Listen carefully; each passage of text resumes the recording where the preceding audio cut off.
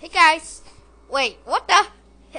it's Maxwell from Scribble Knots. oh. oh, what the heck? Seriously?